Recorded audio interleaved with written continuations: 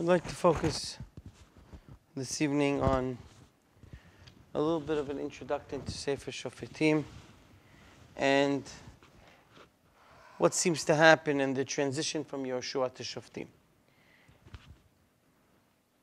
As the book opens, everything sounds good. ויהי אחרי מות יהושע, וישאלו בני ישראל באדוני. Right away, they're Shoel Bahashem. Mi lanu al-Knani Who will go and fight the Knaani? And Hashem appoints Yehuda. And Yehuda is extremely successful. God fights for Yehuda. He says, I will give the, the land into his hands. And we see that the entire battle is aided by Akadosh Baruch Hu. We have a somewhat repetitive story from, from the beginning of Shofetim to Yoshua Tetvav. You'll find that in Yoshua Tetvav, uh, we have the entire story of the Kalev Otniel capture, and that story is repeated almost verbatim here. So we seem to be going in line of Sefer Yehoshua. But things, as we know, don't develop that way. We begin, of course, and we see the famous repetitive cycle of, as we saw it many times, sin, suffering, Yeshua, praying, Yeshua, and then, of course, sin again. And we see this cycle over and over again as introduced. So the question is how do things develop this way? We'll ask why and how do things degrade in such a rapid way? So if I might have that Tanakh.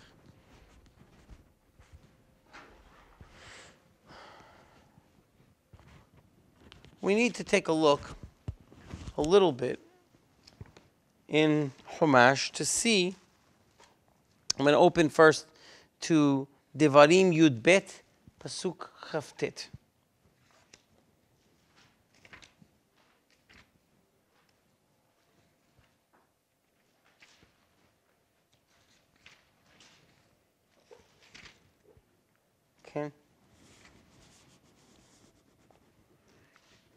כי יכרית אדוני אלוהיך את הגויים אשר אתה בשמה לרשת אותם מפניך, וירשת אותם, וישבת בארצם. You will be יורש them, you will in their lands. הישמר לך, פן תנקש אחריהם. אחרי הישמדם מפניך, ופן תדרוש לאלוהיהם. לומר, איך יעבדו הגויים האלה את אלוהיהם ועסקם גם אני. Don't follow and seek the way they worship their gods so you could do it yourself. לא תעשה כן לאדוני אלוהיך, כי כל תועבת אדוני אשר שנא עשו לאלוהיהם. כי גם את בניהם ובנותיהם ישרפו באש לאלוהיהם. כל דבר אשר אנוכי מצווה אתכם, אותו תשמעו לעשות, לא תוסף עליו ולא תגרע ממנו. No, we are told, very simply, that when HaKadosh Baruch Hu destroys the goyim in front of you, You'll be Yoresh them. You'll sit in their lands. don't be swayed after them. It seems to be this concept that by living in that land, there's a certain danger that the Torah is very aware of, that Am Yisrael will be swayed after the Goyim that we live in their lands. A similar fear is brought out in Shemot Lamed Dalet Pasuk Yud Aleph. שמור לך את אשר אנוכי מסבך היום, הנני גורש מפניך את האמורי והכנעני והחיתי והפריזי והחיבי והוסי. הישמר לך, פן תכרות ברית ליושב הארץ. You'll make a ברית with them, אשר אתה בא עליה. Why? פן יהיה למוקש בקרבך. You're not allowed to form a berit with them. Because why? There will be a mokesh to you. כי את מזבחותיהם תתוצון, ואת מצבותיהם תשברון, ואת אשריו תכרותון. כי לא תשתחווה לאל אחר, כי אדוני קנה שמו אל קנהו. פן תכרות ברית ליושב הארץ, וזנו אחרי אלוהיהם, וזבחו לאלוהיהם, וקרא לך, ואכלת מזבחו. ולקחת מבנותיו לבניך, וזנו בנותיו אחרי אלוהים, So again, the concept of the goyim that are there will lead you astray. The goyim that, the goyim that exist will, will, have it, will, will, will, will create a problem. So I want you to keep those psukim in mind, and we'll see what happens as we proceed through the story. Now, there are a few differences automatically apparent between Sefer Shoftim and Sefer Yehoshua. The one obvious one is that in Yehoshua we have, of course, a national leader, a leader that leads all of Klal Yisrael, a leader that lead, that actually is spoken to by Borei Olam, a leader that is compared by Akadosh Baruch Hu himself to Moshe Rabbeinu, in a certain sense, that just as I was with Moshe Rabbeinu, I will be with you. And he leads all of all the people. In Sefer Shofetim, we do not find a leader that seems to galvanize all of Klal Yisrael. Even the famous Devorah fails to do so. And there's not one leader that seems to galvanize all the Shevatim together. And of course, this is made known to us by the famous Pasuk, Bayamim Hahim in Melech B'Yisrael. That's repeated over and over. You'll see it many times in Sefer Shoftim. There was no Melech. So we see, and right from the beginning, we see a certain sectionalism. Shivatim doing battle on their own, fighting each of their own battles, handling their own situation. And right away, we already see there's no national identity. By the way, even the positive element of the first pasuk of, of God appointing Yehuda, right? Vayishalu b'nei Yisrael, mi ya'aleh lanu Who will fight us first? And God says Yehuda ya'aleh, right? So we would assume that means what? B'nai says this. Who's going to fight our battles? We would assume what? That Yehuda is there to do what? To fight the battles of B'nai Yisrael. And then what's what happens in pasuk Gimel? Yehuda and Shimon make a deal to fight for each other. By definition, there is no united stance of Am Yisrael fighting their battles. Now, it's very possible, it's very possible, that that might, might not be as bad as we could imagine. It's very possible, in a certain sense, one can find an explanation for that, logically. As we saw, we have, and as um, it was Rabbi Leibtag who brought out that we have different psukim of whether Yehoshua succeeded or not. Uh, Rabbi Leibtag had a different approach, but it might be very simple to those to answer those psukim. It's very possible that Yehoshua did exactly what he was set out to do in terms of conquest and attack and hit the major kingdoms the major alliances, destroy the major centers of Canaanite power. But Yeshua's job probably wasn't literally to destroy every single small city or every single small holdout. That may have been part of the plan, might have actually been that once Am Yisrael broke down in the Nahala, it's very possible that each Shevet was to finish the conquest or inhabit the land and deal with the local inhabitants as they might, right? One can find an example in that or a, a modern day, uh, a modern day uh, uh, parallel is, I mean, the state of Israel has won many wars. And sometimes you, after winning a battle, the next, the next challenge is to settle the land. So we could give a parallel. You know, Am Yisrael in 67 won an amazing victory. but probably what we could say was their biggest failure was their failure to settle the land that they won. And it, after decades and decades and decades, they still are conflicted with problems because of their, their lack or inability or lack of desire to settle their, their lands. So they can win the battle and almost lose the peace, lose the settlement. It seems here that that might have been what, what, what seems to be happening. That there might be, at that point, Am Yisrael may be a challenge to settle the land. Now, as settling the land, there were vestiges of Canaanite power here and there. And the Shivatim are supposed to handle that. And some of them succeed, and we'll see some of them don't.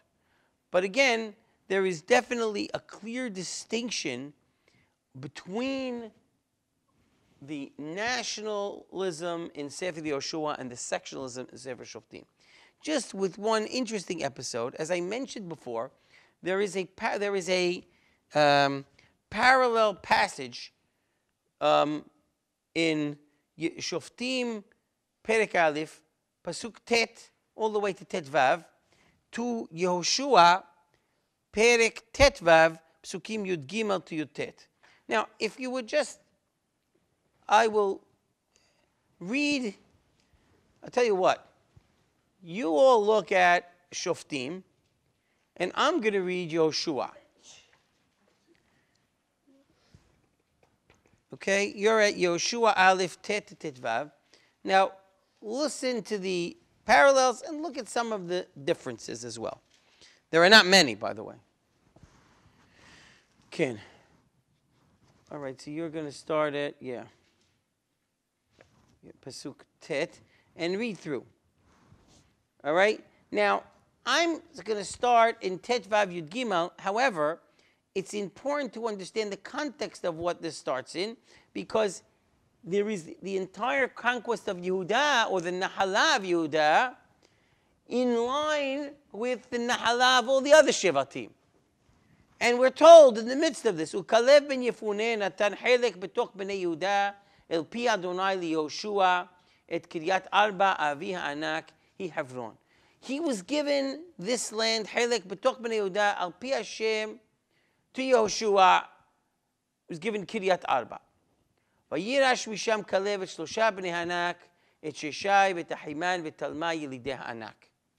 ויעל משם יושבי דביר, משם דביר לפנים קריית ספר. ויאמר הכלב, אשר יכה את קריית ספר ולכדה, ונתתי לו את אכסה ביתי לאישה. וילכדה עתניאל בן כנז, אחי כלב, וייתן לו את אכסה ביתו לאישה. Right? ויהי בבואה ותסיתהו לשאול מאת אביה שדה, ותצנח מעל החמור, ויאמר לה כלב בלח, ויאמר תנה לי ברכה, כי ארץ הנגב נתנני. ונתת לי גולות מים, וייתן לה את גולות עיליות ואת גולות תחתיות. Right? So it's a very similar story.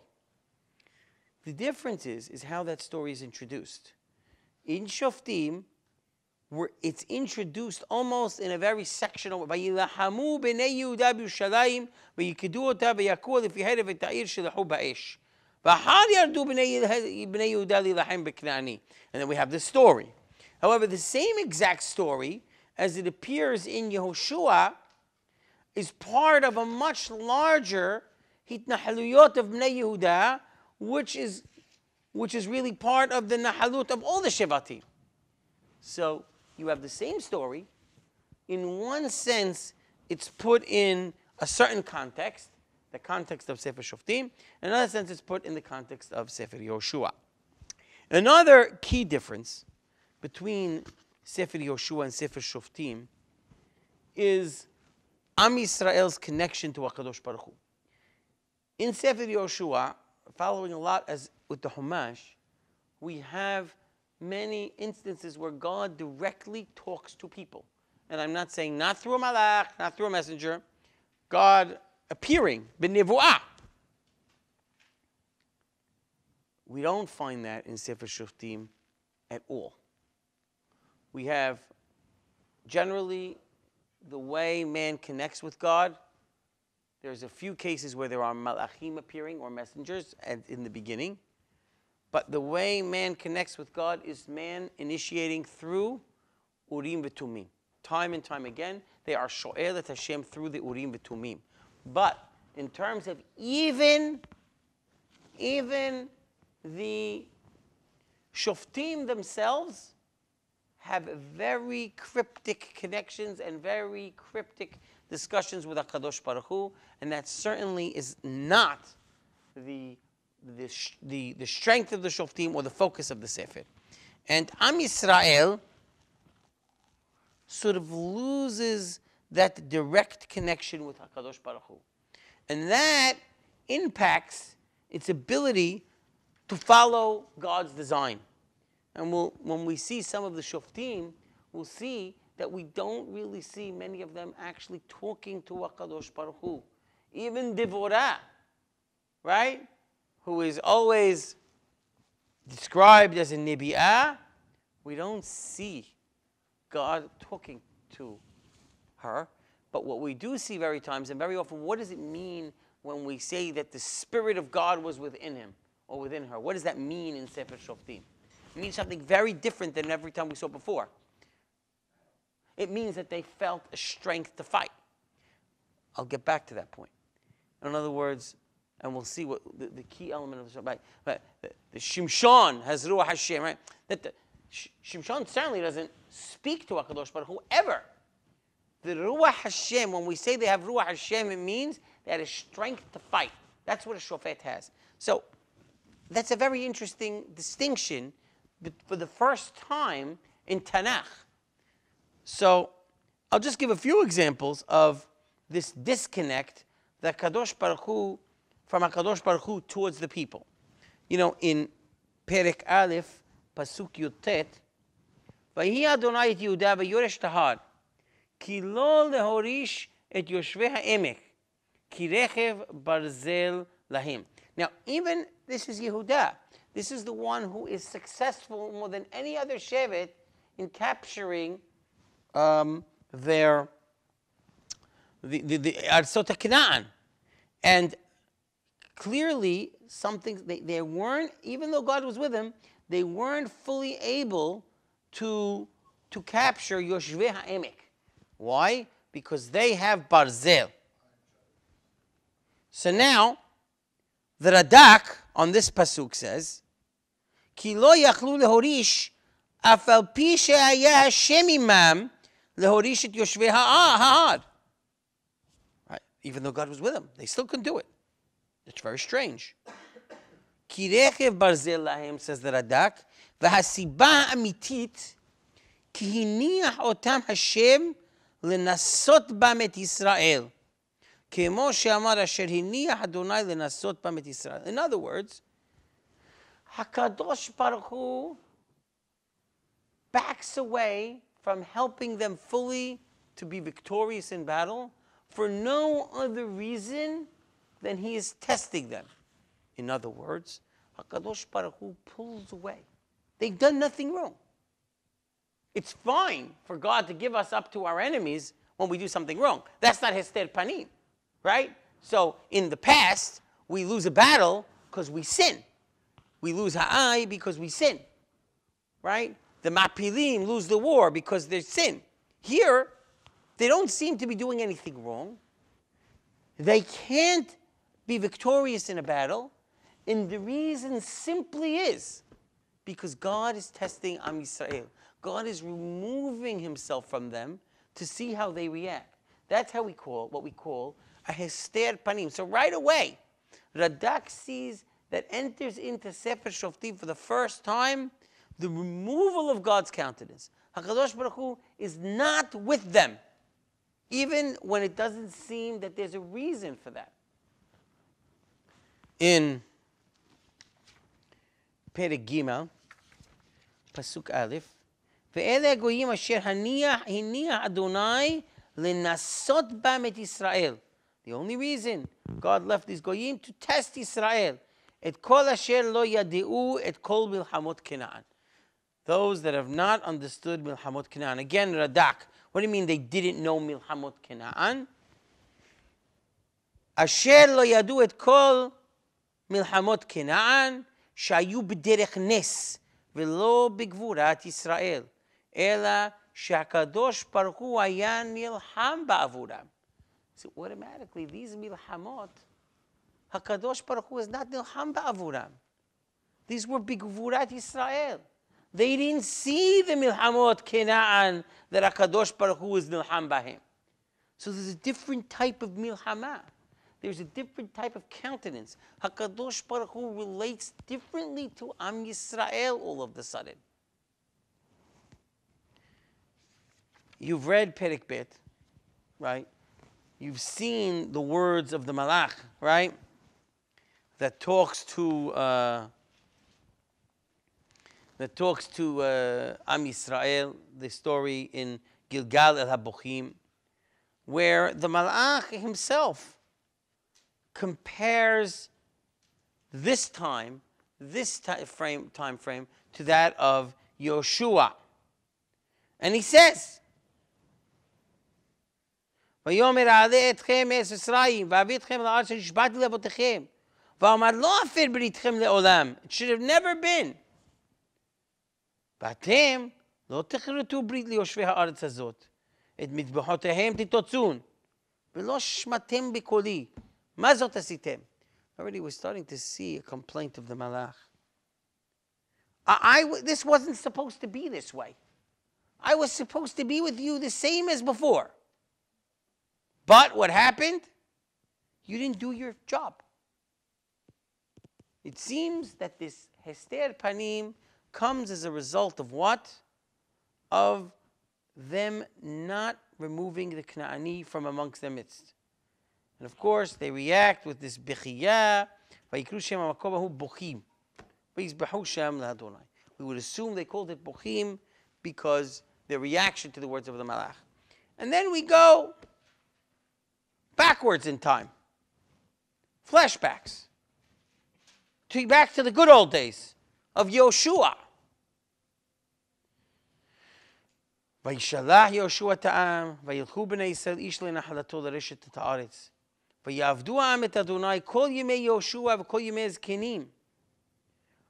אשר האריכו ימים אחרי יהושע. So there's this period of ימי זקנים, after יהושע, which seems to precede this. שראו את כל מעשה השם הגדול אשר עשה לישראל. These people saw the מעשה הגדול. Unlike whom? Unlike the people that I just read to you, that they didn't see the milhamot of Canaan. and Yeshua dies. They bury him. They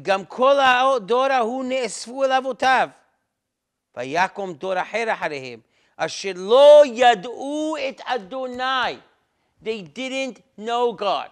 They didn't merit his hashgacha eliyonah on that same level. And they didn't know the Maaseh Asha Israel. Now, interesting.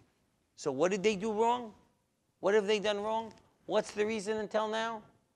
Well, we said they did. They made berit, right? They made berit. But all of a sudden, the Rebbe gives us another avera. ויעשו בני ישראל תרה בעיני השם ויעבדו את הבעלים. They're עובד בעלים. ויעזבו את אדוני אלוהי אבותם המוציא אותם מארץ מצרים וילכו אחרי אלוהים אחרים אלוהי העמים אשר סביבותיהם וישתחוו להם ויכיסו את אדוני. נו עבירה. ויעזבו את אדוני ויעבדו לבעל ולעשתרות.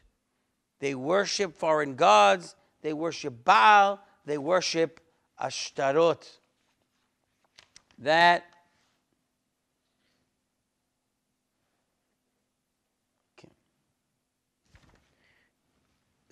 again, just to see that accusation one more time. פרק ג' פסוק ז', ויסעו בני ישראל תרה בעיני השם וישכחו את אדוני אלוהיהם, ויעבדו את הבעלים ואת האשרות. Parenthetically, אשרה, אשתורת, Bilial ben Amuzig claims that they are the same. that Asherah and Ashtoreth, and this is a proof really in Sefer Yoshua that they're used interchangeably.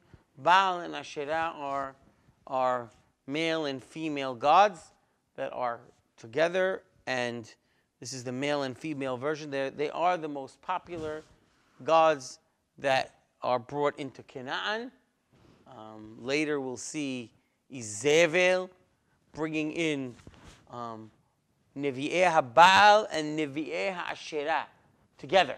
So there's this Baal and Asherah worship which seem to coincide amongst each other as a male and female uh, partners in terms of, and they are, as I mentioned, the most famous problem that Am Yisrael seems to follow. They are the most famous Canaanite gods. So, if we go back, we see that you have two problems with Am Yisrael. And these are brought as to why HaKadosh Baruch Hu doesn't seem to fight for them. You have God not fighting for them. The Malach saying God would and should and was planned to, but we have two sins that are making this impossible. We have the sin of Avodah Zarah, Baal Asherah, and we also have the refusal to fight, the refusal to capture the lands of Israel that they were supposed to capture. The rest of Perek Bet, as you have seen, seems almost to be a premonition of the rest of the book because it didn't happen yet chronologically, but it, now all of a sudden we're told, oh, and this is what they do, right? They they leave God. God gets angry. In their oivim, right? And whatever they do, listen to this lashon.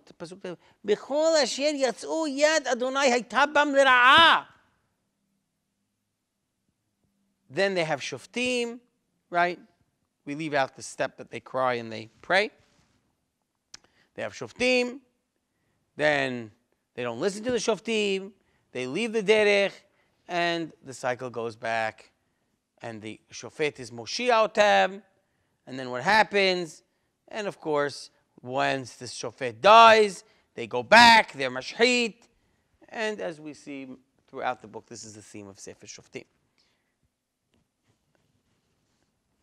So we're taking a look at a group of people that have these, but again, it's unclear which is the Avera. So let's take a look what happens. Let's go back to the Humash. Why are we, what's going to happen if we don't fight and obliterate and destroy our enemies? They're going to influence us.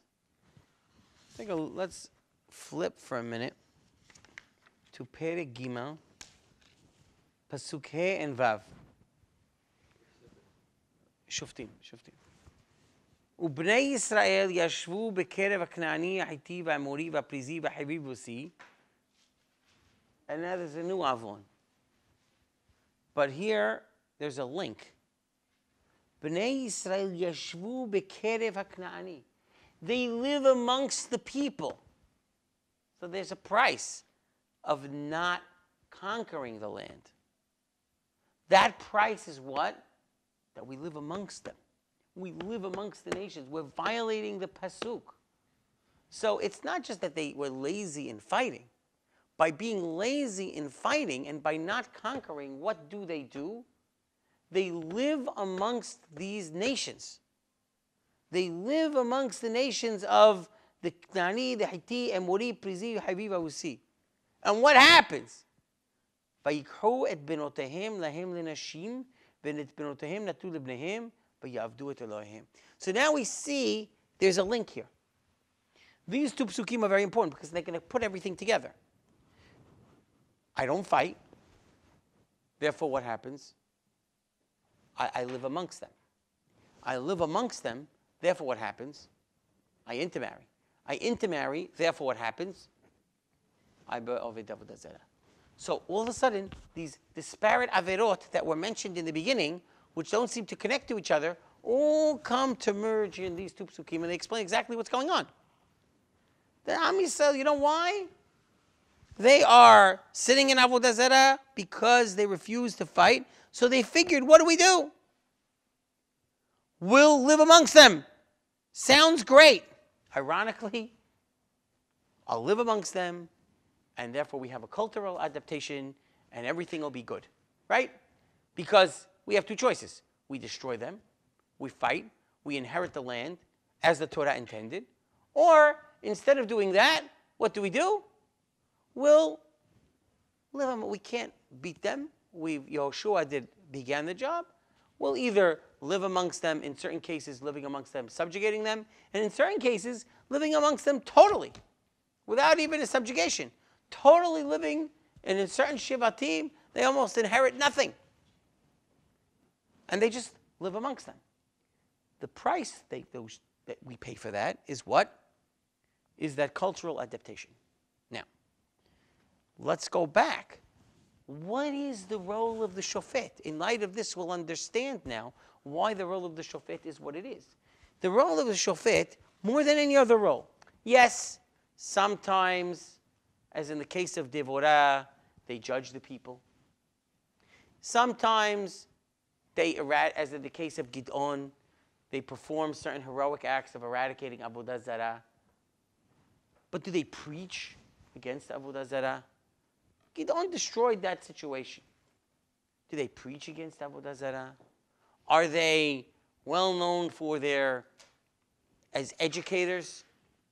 Well, by and large, no.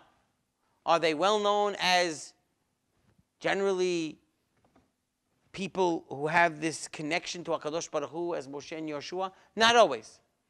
Why is Otniel important in the Peshat? Simply because his fighting ability and what he captured. The Midrash turns him into a Hacham Gadol. Ehud ben Gera, what does he do? We don't know anything about him other than his military exercise of killing Eglon. Certainly, we know nothing about Shamgar. Devorah, we know a little bit about. So, right away, the early Shoftim, all we know about them is what they are is fighters. When it says that the Spirit of God entered them, what is that talking about? They excelled in fighting, they fought well. The role of the shofet, less a teacher and more a fighter, for a simple reason. The only way to change the problems that we have in this era of Sefer Shoftim is to eradicate and separate ourselves from the goyim that we mixed in.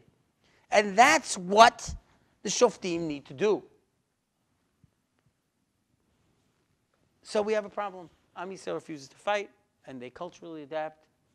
And that seems to be what's going, going to begin our problems ever Shoftim.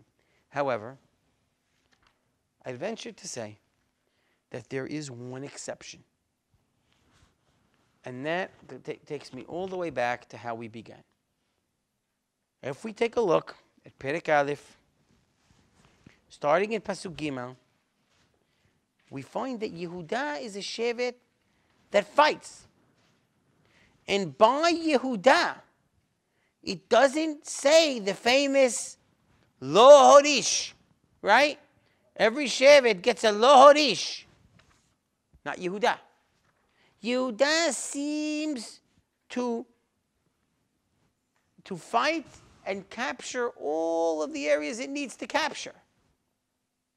Yehuda and the military escapades and what they control and how they do it are described in a very Yehoshua oriented manner. And that's why I said the book seems as a continuation.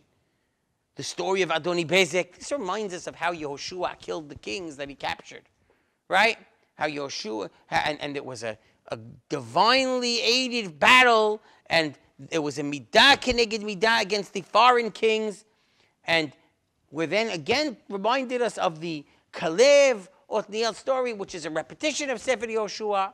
There's one tribe that seems to actually think they're still in the book of Yehoshua. And guess what? says the Radak in Perek Aleph Pasuk Het, that's because they are. Vayilahamu b'nei Yehuda.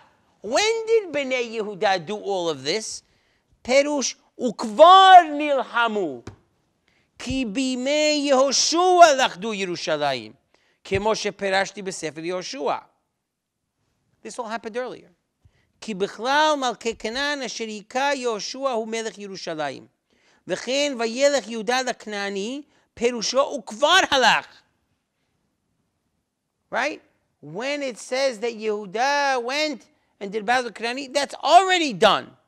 כי בימי יהושע לכדו חברון ודביר, ודבר עתניאל פירשתי בספר יהושע. In other words, so all this, Yeshua, Shevet Yehuda doesn't wait. Shevet Yehuda does its job. It's all complete. Now, some other Shivatim do a little bit of that We're told a little bit about Ephraim and Menashe, right? That they also attempt to do that. ויעלו בית יוסף, פרק א', פסוק כ"ב, גם הם בית אל, ואדוני עמם. Right? They also fight. But there is, Yosef has a, a, a middle thing. ולא הוריש Menashet Beit She'an. He gets a whole litany of a list of cities Lohorish. And Ephraim also. Ephraim Lohorish at Teknani. So you'll say if Ephraim, Menashe, while they seem to go to battle, it, they don't fully work. And then Zevulun Lohorish, Asher Lohorish, Naphtali Lohorish. We're not even told of what they were Yorish, just what they weren't Yorish. Who's not even mentioned here? Our friends, from last time. Reuven, Gad, forget about them. There's a similar or actually a dissimilar aspect to Yehuda. Yehuda stands out very differently. Even Shimon, even Shimon who goes to battle with Yehuda, if you go back to the pasuk I quoted before, which is Aleph Yutet, and we read the Radak, I want to, on that same pasuk now,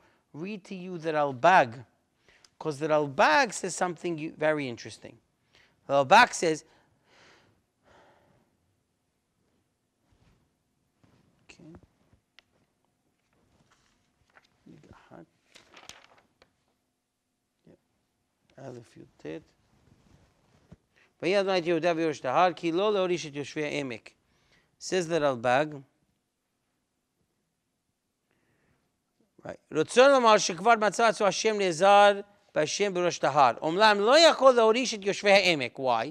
כי רכב בזה להם. והיו יותר חזקים ממנו. So on one hand, they were stronger.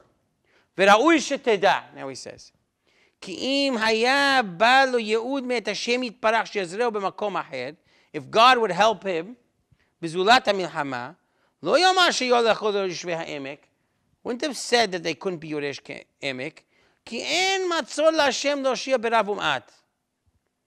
אלא שלא מצאנו ייעוד השם ליהודה שינצח, רק בגבול נחלתו, כמו שנזכר בראש זה הספר. וזאת המלחמה הייתה בגבול שמעון. What does he say? God helped Yehuda. God destroyed all Yehuda's enemies. Only for the borders of Yehuda. When Yehuda fought for himself in his own borders, he succeeded. The problem here is Yehuda is fighting whose battle? Shimon. And therefore, God, according to the Ralbag, sort of pulls out of the battle. So even Shimon, we have this positive, even Shimon is distinguished from Yehuda. Yehuda has this special status right away in the beginning of the book. The unique and different from the other Shvatim, Yehuda captures its entire borders. The Mefarshim are clear on this. What does that, what, what do you think that's going to cause? So if Yehuda doesn't follow what all the other Shivatim do. So what happens to you? What would you imagine would be Yehuda's situation? They succeed, we know that, but what else? Right, they're not going to culturally adapt. They're not going to be of the Avodah Zarah. They're not going to marry into the Goyim. They're not going to do that because they did what they were supposed to. They got rid of it. God helped them. They got rid of it. Their borders are secure. Even when they lose, it's not because they're losing on their borders, they're losing on Shimon's borders, the Rabbah says. But their borders are sealed tight. They've done it. So therefore, they should develop differently, culturally, than the other Shivatim. That's what we would expect to happen. And that is what happens. That's exactly what happens. And we're used to thinking of the Yehuda Israel split at the time of Rehavam and Yeravam. But if you actually open the Nevi, Yehuda is mentioned in distinction to Israel much earlier than that. Already you see it in the time of David Melech. Battles or conflagrations between Yehuda and Israel. So there are two, Israel and Yehuda. So there are two units of body, not just Yehuda as a Shevet versus another Shevet. That we see, of course, throughout Sefer Shoftim as well. But you have, and not just the Yehuda Binyamin rivalry between the Shaul and the David clans. I'm not even talking about that. I'm talking about Yehuda versus Israel.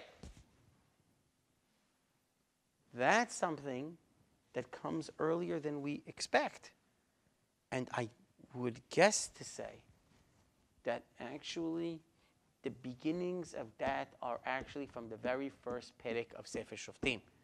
Because it's Yehuda who actually we see clearly following suit and capturing and ridding themselves of the Goyim. And because of that, they will have much less. Again, Yehuda's not perfect. We'll find them doing their sins, but way much later into Sefer Melachim. Their Melachim, generally, at least the earlier ones, are ones who follow the, the path of HaKadosh Baruch Hu. Yehuda will have much less of an influence of Avodah Zarah and cultural adaptation than the other Shivatim. And that simply is because they, from the very beginning, do not live amongst the Goyim. They actually rid themselves of this influence, and as ridding themselves of this influence, that solves that problem, and that really creates that cultural distinction between them and the rest of Israel.